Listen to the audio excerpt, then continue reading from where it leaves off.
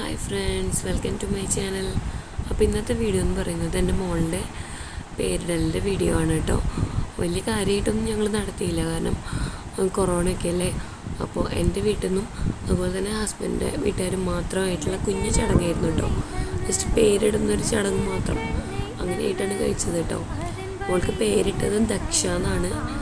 മൂത്ത മോളുടെ പേരിന് മാച്ചിനായിക്കോട്ടെ വെച്ചിട്ട് തന്നെയാണ് കേട്ടോ അങ്ങനെ പേരിട്ട് മൂത്ത മോളുടെ പേര് ധ്രുവ എന്നാണ് അപ്പോൾ അവൾക്ക് മാച്ചിന് ദക്ഷ എന്നിട്ടു ചെറിയ പേരെന്നെ അവിടെ നിന്നായിരുന്നു ആഗ്രഹം.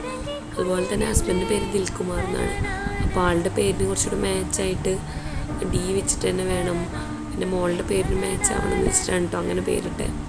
ദക്ഷ എന്നാണ് പേര് ദച്ചു എന്നാണ് വിളിക്കുന്നത് കേട്ടോ കാരണം മോൾക്ക് വിളിക്കാൻ മൂത്ത ആൾക്ക് വിളിക്കാൻ എളുപ്പമായിക്കോട്ടെ എന്ന് വെച്ചിട്ടാണ് കേട്ടോ ചെറിയൊരു വിളിപ്പേരൊക്കെ കൊടുത്തത്.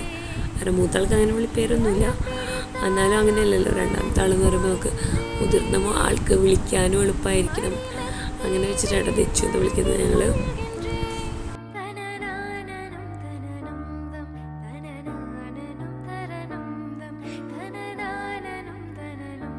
ഇനി ഡ്രസ്സിന്റെ കാര്യം പറയുകയാണെങ്കിൽ ഞാൻ മെറ്റീരിയൽ എടുത്ത് സ്റ്റിച്ച് ചെയ്യിക്കാണ് കേട്ടോ ചെയ്തത്.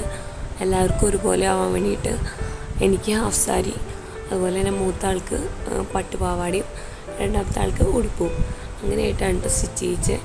മെറ്റീരിയൽ എടുത്തിട്ടാണ് ഡിസൈൻ ചെയ്യിക്കാൻ കൊടുക്കുകയാണ് ചെയ്തത് മെറ്റീരിയൽ എടുത്തത് തിരുവില്ലാമലയിൽ എയർ ഹാൻഡ്ലൂംസ് വഴിയാണ്.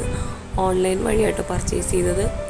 അപ്പോൾ അങ്ങനെയാണ് ഡ്രസ്സ് എടുത്തത് ചേട്ടനുള്ള ഷർട്ടും അങ്ങനെ തന്നെ സെറ്റായിട്ട് എടുക്കുകയാണ് കേട്ടോ ചെയ്തത് ഞാൻ എനിക്ക് ഇൻസ്റ്റാഗ്രാമിൽ അവരുടെ അക്കൗണ്ടിൽ ഈ ഡ്രസ്സിന്റെ ഫോട്ടോ ഇത് ശരിക്കും പട്ടുപാടേരെ കേട്ടോ മെറ്റീരിയൽ ഞാൻ ഹാഫ് സാരിക്ക് എന്ന് പറഞ്ഞിട്ട് അങ്ങനെ പറഞ്ഞിട്ടാണ് കേട്ടോ ഓർഡർ ചെയ്തത് അപ്പോൾ എനിക്ക് ഡ്രസ്സ് കളർ എനിക്ക് നല്ല ഇഷ്ടപ്പെട്ടിട്ട് അങ്ങനെയാണ് ഞാൻ ഓർഡർ ചെയ്തത്. എന്റെ അടുത്താണെന്ന് കുറേ പേര് ഇൻസ്റ്റയിലും അതുപോലെ തന്നെ ഫേസ്ബുക്കിലൊക്കെ ഫോട്ടോസ് കണ്ട് ചോദിച്ചിരുന്നു ഡ്രസ്സ് എങ്ങനെയാണ് എവിടെ നിന്നാണ് സ്റ്റിച്ച് ചെയ്തത് എങ്ങനെയാണ് മെറ്റീരിയലൊക്കെ? അപ്പോൾ ഞാൻ കരുതി എന്തായാലും വീഡിയോ ചെയ്യുമ്പോൾ അതും കൂടെ പറയാമെന്ന് കേട്ടോ. പറയുകയാണെന്ന് വെച്ചാൽ ഇത്തവണ ഓണമൊന്നും ഉണ്ടായിരുന്നില്ല കേട്ടോ.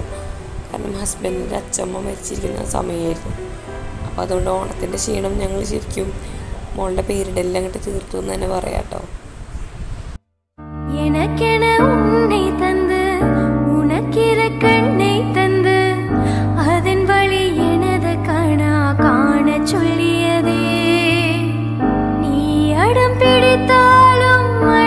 போகின்ற